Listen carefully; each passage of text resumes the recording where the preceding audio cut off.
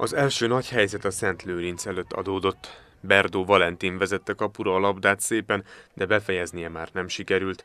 Aztán a PMFC is sorra építette fel támadásait, amiből a 21. percben tudtak profitálni először. Egy védelmi hiba után Kónya vihette egyedül a kapusra a labdát, a középre passz után pedig már késve érkezett tudás szerelése, ami büntetőt ért.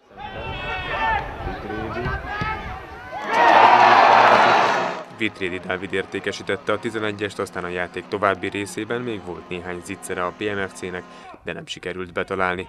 A második félidőben jobban kezdett a Szent Lőrinc, de elherdálták lehetőségeiket, és a 87. percben német öngólja feltette az íre a pontot.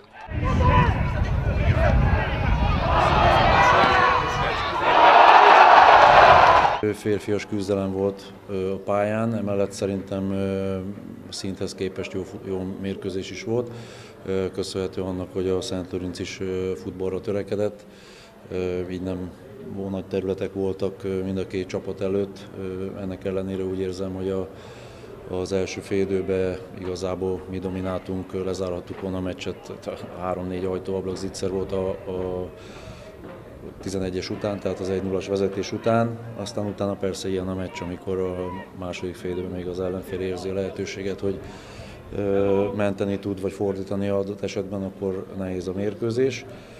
De azt gondolom, hogy ha az összképet nézzük, akkor mm, szerintem megérdemelten nyert a csapat.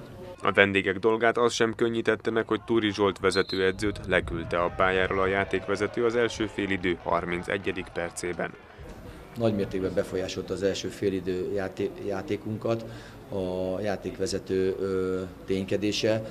Az a mm, negatívum, hogy felénk bíráskodott, az szerintem vérlázító volt.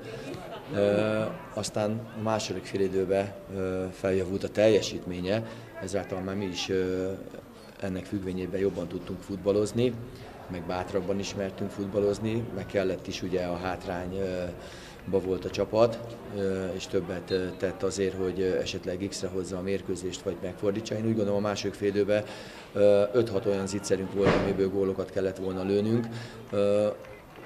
Szerintem a másik félidőben a Pésnek nem volt lehetősége a gólszerzésre. Az, hogy két ilyen szerencsétlen szituációból két gólt kaptunk, az viszont az ő erejüket mutatja. Ezzel a győzelemmel a PMFC átvette a vezetést a tabellán, a Szent Lőrinc pedig visszacsúszott a nyolcadik helyre.